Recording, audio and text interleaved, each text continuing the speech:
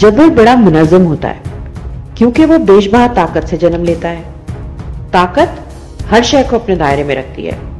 ताकत के पास वक्त, जगह, क्या, कितना, कैसा मुयन करने का इख्तियार होता है। उसके मुकाबले में मजामत की शुरुआत बड़ी बेढंगी होती है। वो अपनी शक्लें अपनी समझ के मुताबिक ढालती है और समझ उसके पास बहुत थोड़ी होती है, क्योंकि उसका जन्म मजबूरी से होता है, बेबसी से होता है।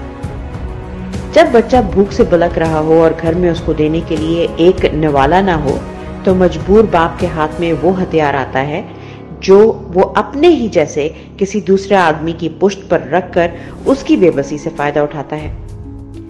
ये उसकी बगावत की इब्तदा होती है। इस माशरे से, जो उसे पेट भरकर रोटी तो नहीं देता, मगर इकदार की तवील फहरिस्त ज़रूर अटपा देता है। उस कानून से जो उसे ज़िंदा रहने का बुनियादी हक तो नहीं देता, मगर उस पर कदगने बड़ी लगाता है। उस निज़ाम से जो इसके बिलकते बच्चे के हिस्से का निवाला अपने गोदामे में भर के उससे अतात की तवक्को रखता है।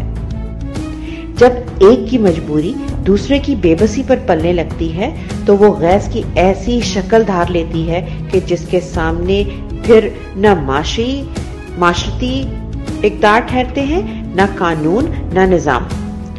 ताकत का नशा तब टूटने लगता है, जब गैस उसके नज्म से कई गुना बड़ी बला की सूरत में फंकारता हुआ आता है और उसके ये तीनों हथियार इकदार कानून, निज़ाम बहा ले जाता है। उसके बाद हर किसी के हाथ बिला तफरीक बर्बादी आती है। आज अगर किसी को अपनी ऊँची दीवारों से झाँक कर देखने की जहमत हो तो पाकिस्तान उसी नहज पर है, जहाँ गैस की लहरें ताकत की बुनियादों के गिर्द घेरा डाल रही हैं। कोई बैद नहीं कि वो सब बहा ले जाए। लेकिन अभी भी एक बंद उम्मीद का एक शख्स की सूरत, एक आईनी दरवाजे के पीछे दो जानों बैठा है। मजामत तहरीक बनकर हमारी तश्कील नौ भी कर सकती है। मजामत खाना जंगी बनकर हमारी बर्बादी भी हो सकती है। फैसला हमने करना है, क्योंकि ऊँची दीवारों के पीछे से देखने वालों को लहरों की तुंदी और उनके सामने अपनी खोखली बुनियादें नहीं दिखती।